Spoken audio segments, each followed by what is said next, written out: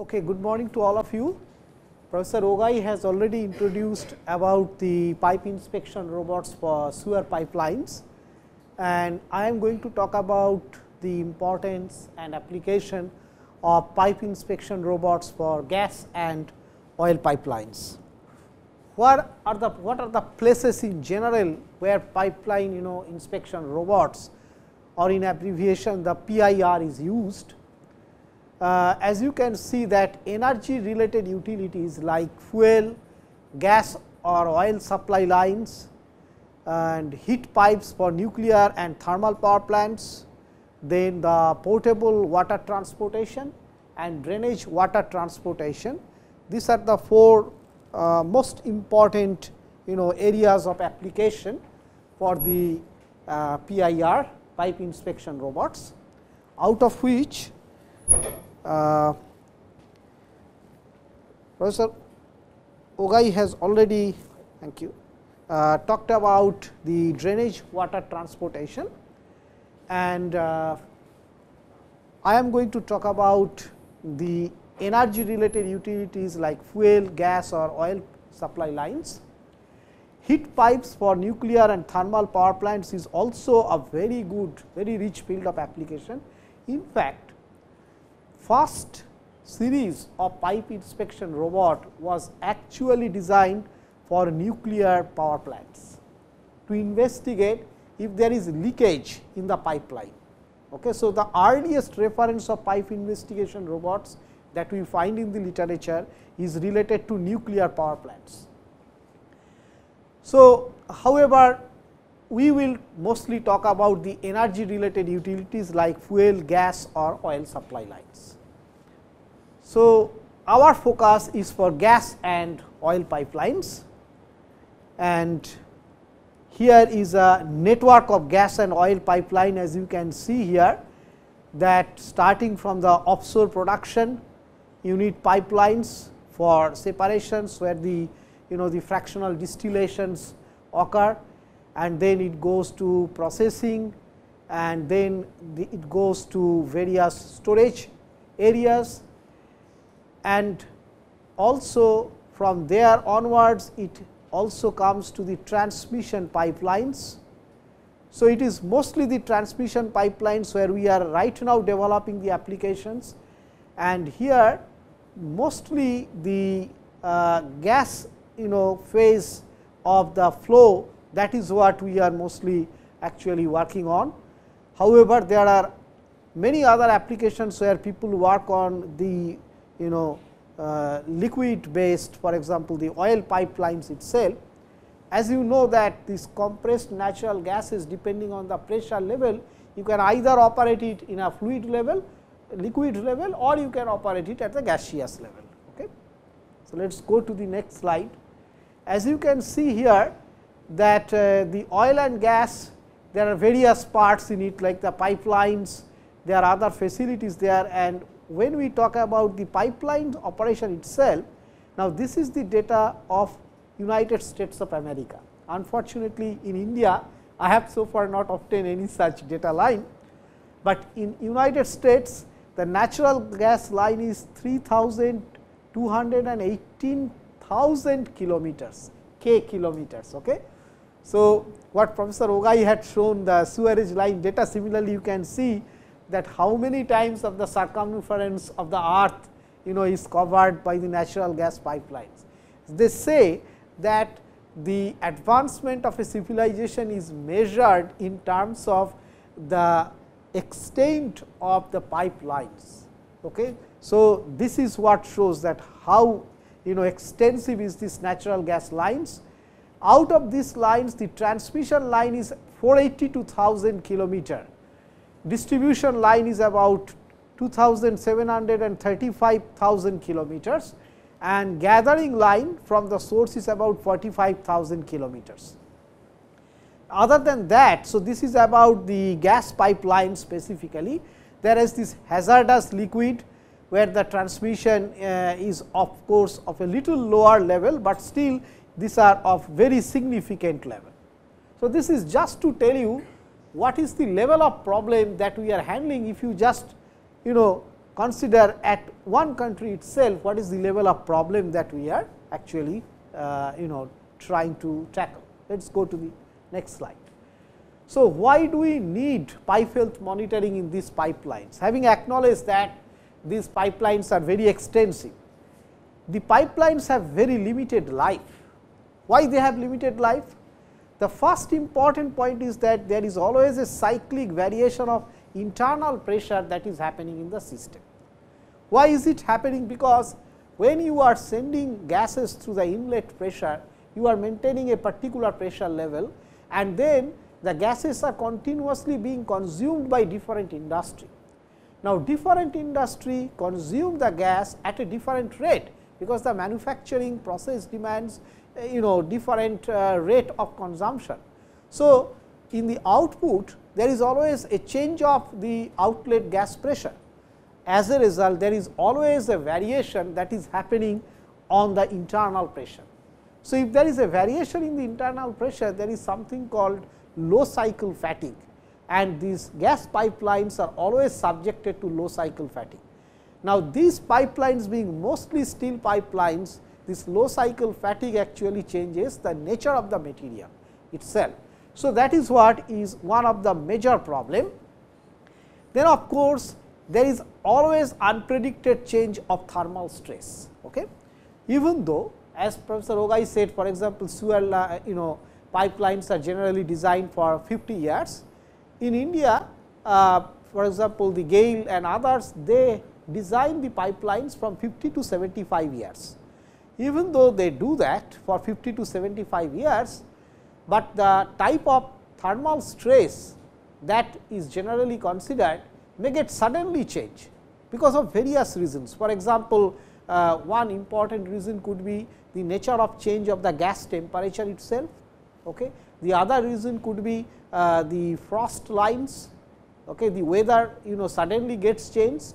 So, you cannot predict it that when there will be a frosting and you have to take into account that our pipelines go through various regions uh, which are subjected to either frost line or intensely high temperature. So, in both the cases this change of temperature will generate unpredicted level of thermal stress on the system. The third point is the dynamic vertical loading. Dynamic vertical loading is a very critical thing. What it happens is that uh, many of the places these pipelines go below the actually roads you know or the railway lines. So, as it crosses the roads and the railway lines there will be always vehicles that will be coming over and that will create a change in the vertical loading on the system that becomes significant because this comes as an impact load and hence it affects the uh, life of the pipeline. Then of course, there are natural processes of degradation such as oxidation and corrosion of the pipe surface. The all these transmission companies take lot of care in terms of maintaining the electrical you know so to say neutrality of the pipeline with respect to the soil condition so that there is no anode cathode development and the corrosion should not take place. So, they always maintain a voltage level and they monitor that voltage level, because that uh, voltage uh, difference between two points indicates that whether there is any corrosion taking place or not. But still there are you know oxidation and corrosions which may not be so much because of the outside condition, but maybe because of the inside condition, the type of fluid that it is carrying that can actually create various types of oxidations and corrosions of the pipe surface. Then there is another problem that is the joint failure due to abrasion, because there are these you know all these gas pipelines even though it is only supposed to carry the natural gas, but there will be always pollutants in it and these pollutants particularly at the bends they actually create joint failures due to abrasion. Finally, there is one very interesting point that we noted uh, in terms of flow induced vibration. What happens is that couple of years before we had an experience like this that there is a river stretch Ramganga stretch and uh, there is a gas pipeline that was just by the side of this river. Now, what happened is that due to flood etc., this river has changed its course and as a result the pipeline which was initially uh, on the actually uh, soil itself which is outside the river stream suddenly got exposed to the river and hence this entire pipeline was actually inside the river stream itself. And if such a thing happens, then you know that the pipeline actually works like a bluff body and on that bluff body the flow if it occurs then it actually creates a flow induced vibration on the system. So, that created a major problem for the gas pipelines and there are various ways in which you can actually control such a problem. The way we have done it is a very indigenous way. We have actually uh, hang lot of you know sandbags uh, we, with the help of ropes etc., on the pipe and we have used uh, something called spoilers that is something like a plastic ribbons to actually dissipate the vortices around the place. So, we have changed the mass that means, we have changed the natural frequency of the system and we have used spoilers to increase the damping. So, that is what is the problem. Now, here uh, you know how important many of you are asking that how important are various considerations.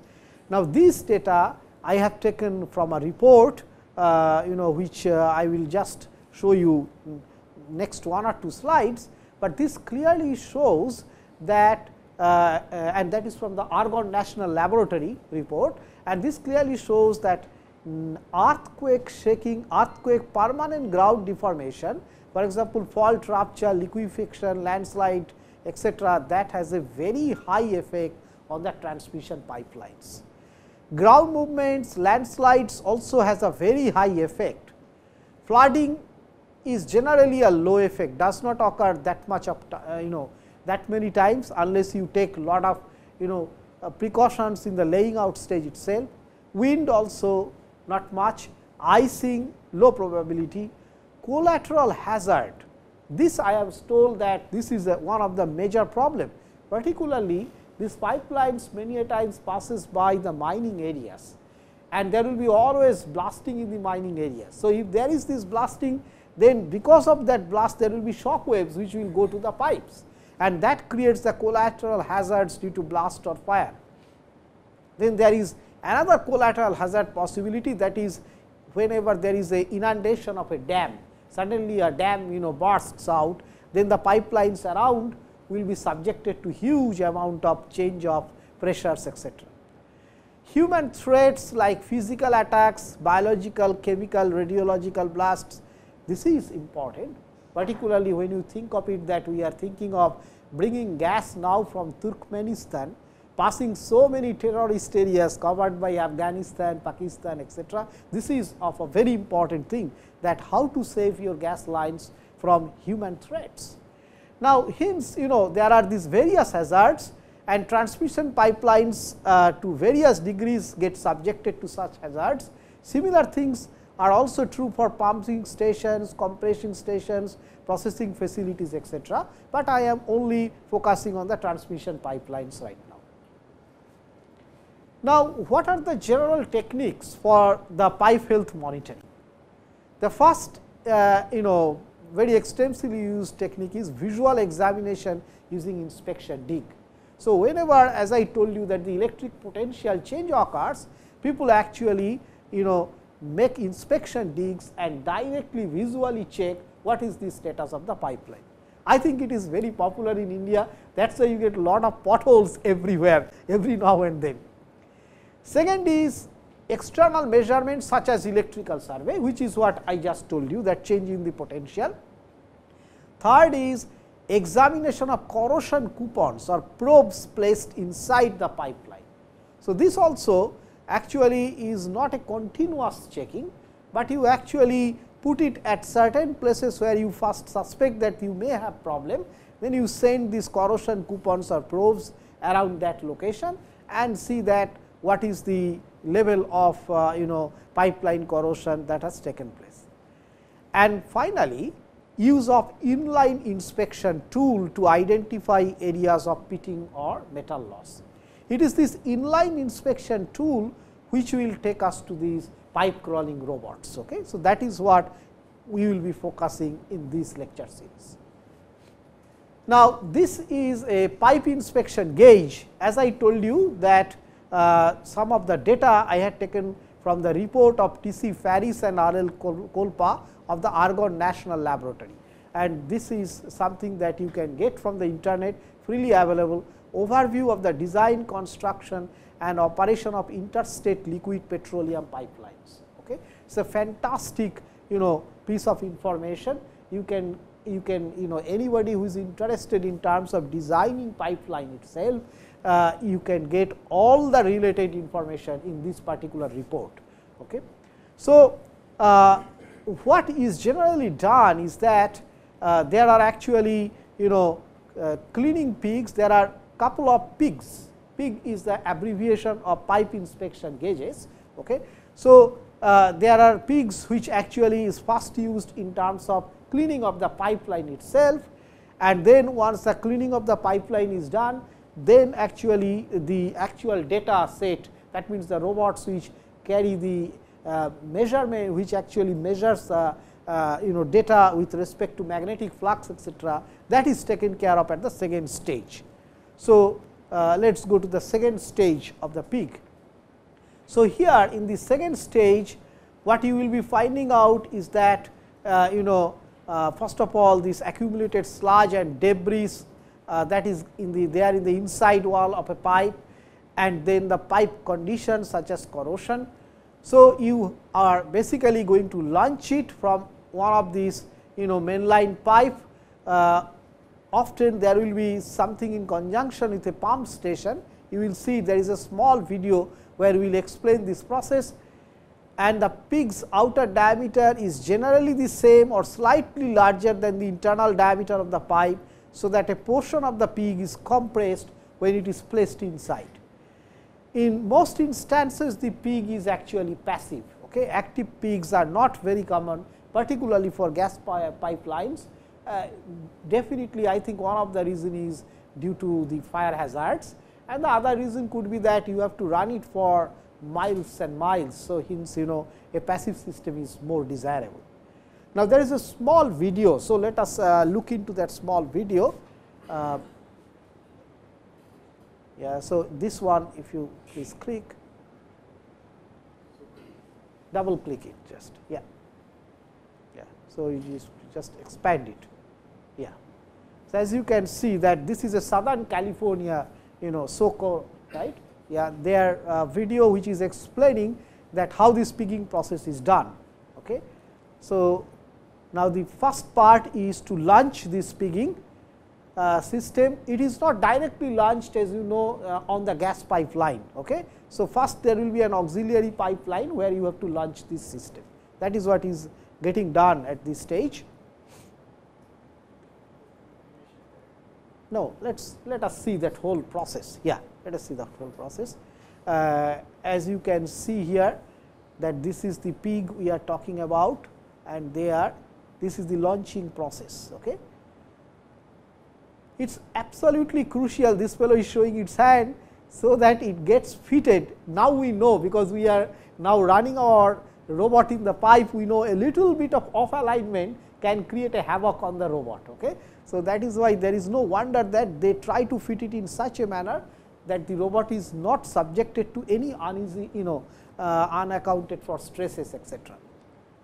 So, this is there in the uh, auxiliary pipeline now and they are now closing the pipeline.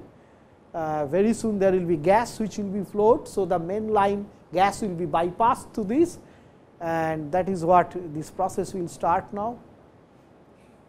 The change of flow because uh, this robot is to be now taken inside the main pipeline and you have to maintain the same temperature, pressure etc. So, you see this is going inside. Okay, so, it is first placed here. Now, they are retracting the system, the gas is currently flown in this main line, it is to be diverted and whatever leftover you know air is there that is actually going out. Okay. So, now the gas is flowing in the this line itself and that is gradually the robot is brought here. Now, this pig is actually going inside the main pipeline. Okay. So, this is how it is moving below the ground cover most of the times. This is the magnetic flux line. So, it is continuously checking the magnetic flux uh, leakage. So, to say on the pipe surface, it can go below the streams also and below the ground, below the roads etc. And there is an angle many times the angle can be something like 30 degree angle and this is the pipeline which is subjected to various kinds of conditions. So, they are getting a signal that where exactly is the location of the system.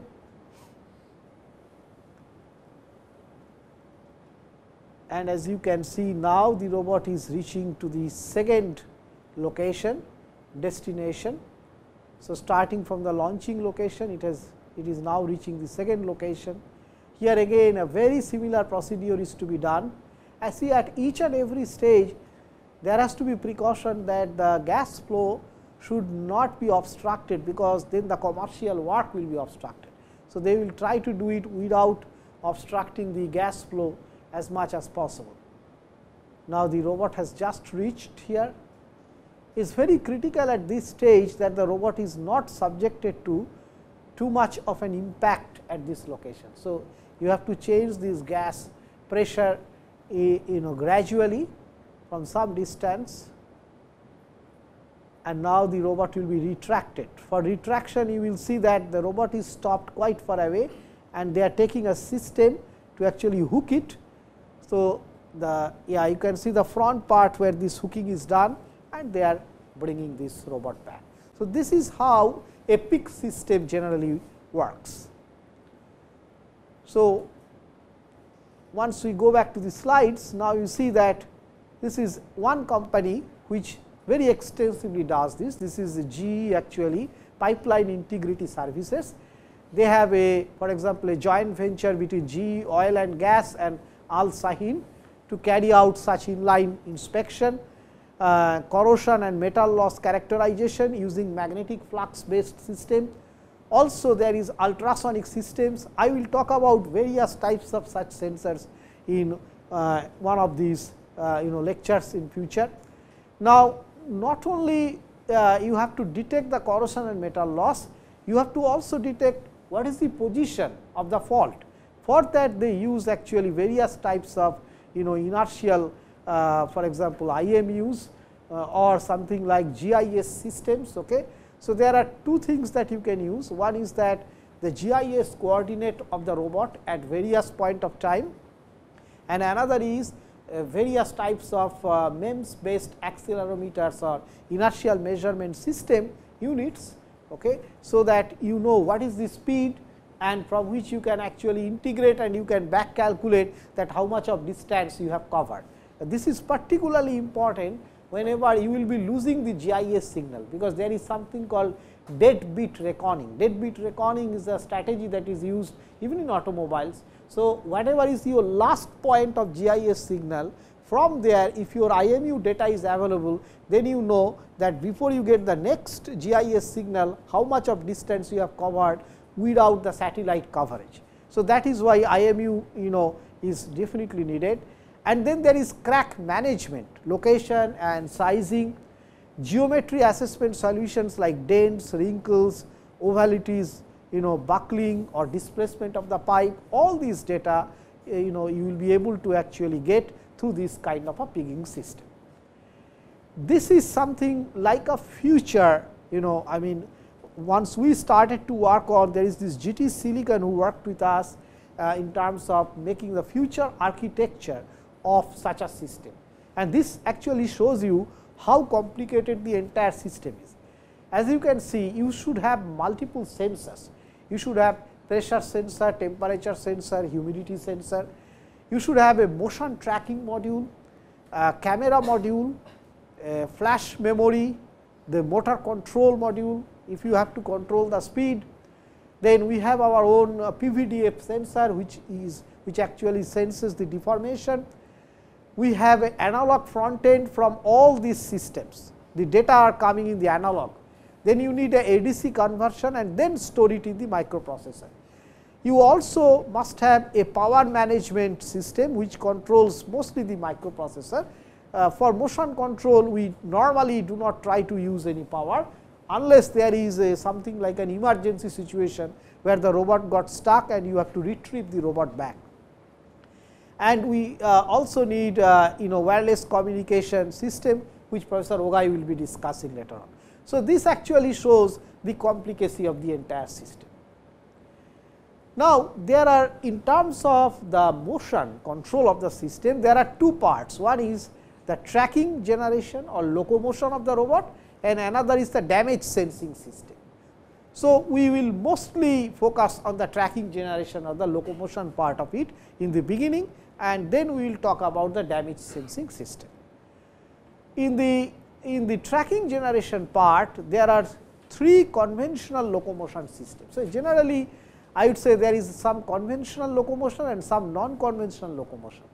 Today Professor Panigrahi was talking about the motion, motion of the robot inside human artery for example. Now, this kind of they are also pipelines, they are very flexible pipelines and very small. So, this kind of pipelines require really non-conventional locomotions. You need some robotic systems, some ideas we will talk about it today, which are very very non-conventional. On the other hand, for the gas pipelines, conventional locomotions are pretty popular because of the simplicity of the design and the robustness of the design. So, uh, there are three types of conventional locomotion we will talk about, wheel drive locomotion and the truck or tractor driven locomotion and fluid powered propulsion. Now, in the non-conventional locomotion, uh, you know they are used uh, for narrow as I told you that less than 100 millimeter diameter and wherever you have a complex network of pipelines. Okay. So, let us click in this particular one. Also note down the speed here it is about 80 millimeter per second. Okay. So, if you look at it that this is a locomotion that has been designed with a single motor earthworm. Okay. It is based on the inchworm motion. Okay. And uh, what is used here is actually magnetostrictive you know actuation system, which is actually moved in a sequence in such a manner that when one of the system is uh, you know holding the other is contracting and thus there is a sequence of the whole thing. Okay. So, there is a active clamping and uh, there is another system which actually releases itself. These things uh, can be designed with wireless you know for example, this is a wireless motion of the inchworm system. Okay. So, uh, and it can be also designed in a very miniature form. This could be something that you know that can be used uh, in a very very small scale uh, in near future. Uh, however, right now it is wired that as you can see. So, this is to be made wireless. So, there are various miniature things that people have developed or people are actually working on all over the world. So, this is just to give you some idea about non-conventional one. Let us go back to the uh, original slides now and uh, just uh, one more you know uh, slightly unusual one the smart ball system just have a look at it. Okay? Uh, if you can uh, if you can yeah you just click it here please.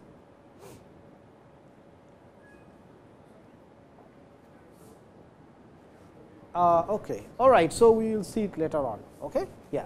Let us go to the multi-legged system then. Okay.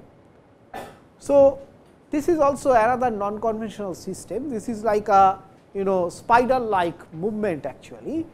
And here what you do is that the legs are used instead of wheels for example. They are used to press against the pipe wall to provide enough traction for the robot. Now, you have redundant links in this system. Why? Because based on the tactile sensing at the feet and the contact sensing along the legs, you will decide that which legs are to be released and which legs are to be applied for thrust generation. So, that is why you uh, instead of 4 legs there will be many legs system and also there is a provision of changing the joint angles here. So, this is typically you know inspired it is a bio inspired design from the spider like motions. That is about the non conventional one. So, let us go you know. So, this is like a multi legged systems as I told you that that actually judges the stability of the robot and based on that it actually talks about that which uh, pair of legs are to be used. Okay. And they can be used also in terms of passing through obstacles such as bends or diameter variations etc. Okay. So, let us go to the conventional one. Now, on the conventional one we have the wheel driven traction robot.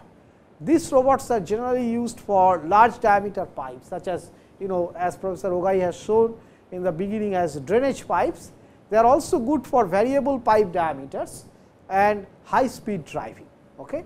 So, as you have seen that earlier the speed that was there one of the non conventional one was about 80 millimeter per second, but here it is about 163 millimeter per second okay, and the speed is about 0.6 kilometer per hour. Okay. It is much much less than the walking speed, but you have to also keep in mind that we are not only for the speed, but also you have to complete the scanning process that is why the speed is not very high. Okay. So, yeah, so the next slide actually uh, let us go to the next slide. This shows you a typically you know a wheel drive traction robot. As you can see that you have this industrial camera system uh, and the LED light sources for the illumination. There are some auxiliary LED light sources whenever there is damage you would need to do that. There is a lifting frame up and down to get a better view and there are pneumatic tires okay, so that you can actually run on the actually pipe and start, you know uh, get the video image. So, this is a video image based system. Now, for uneven and greasy or muddy pipe surfaces, this kind of tire system may not be good. So, you may need a different type of traction. So, there you need a tractor or a truck driven you know system. Okay. So, these are more resource effective that this kind of wheel drives uh, and uh, they have a better load carrying capacity, because the payload is very very important. However, they are generally slower than the wheel driven robots, they are almost you know half the speed that is available than the wheel driven robots. This is a typical you know Versatrax 150 commercially available you know track driven system as you can see here that once again you know there are these the wheels are substituted by this you know Uh, the track traction system the belt driven system and you have the video image processing system on the top and you can control the distance with the help of this kind of a mechanism. So, that is one of the commercially available system what is mostly used in gas pipelines is the passive crawling system. So, this is a typical passive crawler. These systems are propulsion driven system and they are generally used with relatively large diameter water and gas pipelines, because you can get more thrust out of it. For such applications, these passive robots are developed because it is energy efficient However, this is important that the weight of each module is limited by the kinetic energy available from the flow. So, what happens if your robot becomes very heavy, then all you have to do is that you have to chop it into small small robots such that the thrust is good enough to carry each one of them.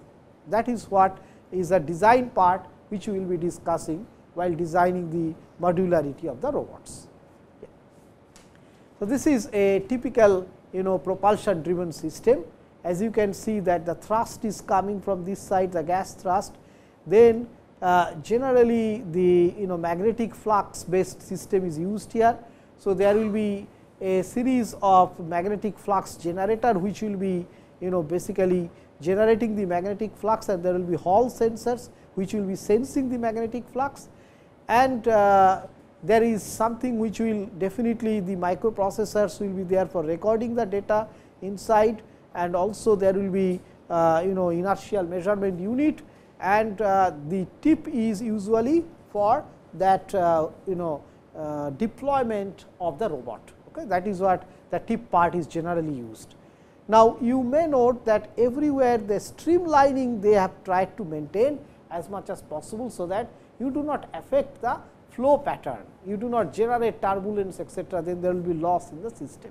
So, this is a typical propulsion driven system uh, and uh, depending on as I told you that weight of the system, the number of wheels and the separation of the modules is what you have to design.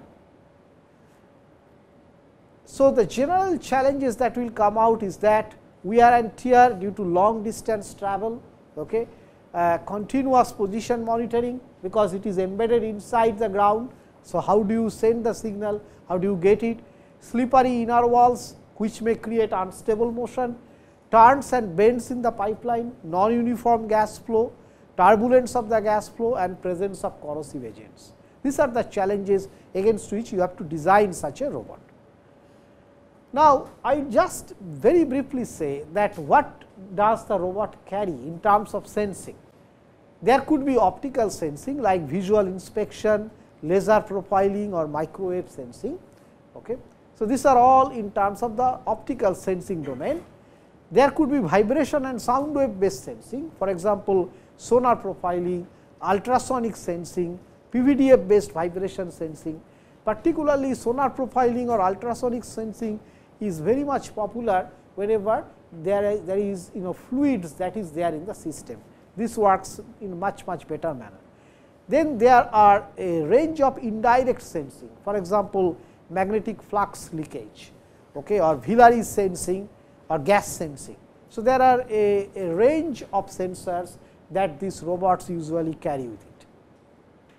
So, this is a typical of a laser profiling sensor and this is a very high resolution sensing type as you can see that uh, you know basically what you are doing is that you are rotating a series of lasers uh, and then you are getting the reflection back and by using various things like laser Doppler vibrometry is one of them then also you know triangulation type laser reflections you can actually make out that what is the profile of the pipe surface.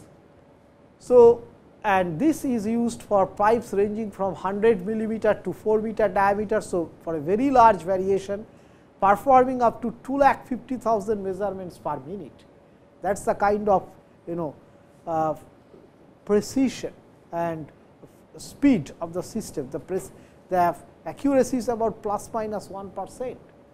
So, laser profiling is something which is which is actually coming up, but of course, power is a problem for the whole system, but this is one of the uh, you know topmost sensors with which you can compare the performance of any other sensor.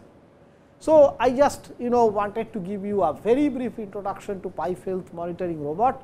Uh, I have actually talked about what is the necessity of pipe investigation robots first of all, how typically a pig is run, and then what are the various types of pigs for example, the traction driven one uh, and uh, the propulsion driven systems and some of the sensors that it carries. In the future talks, we will talk more about okay, how each one of these individual systems work. Okay. Thank you. So, is there if there is any question, then I can take up.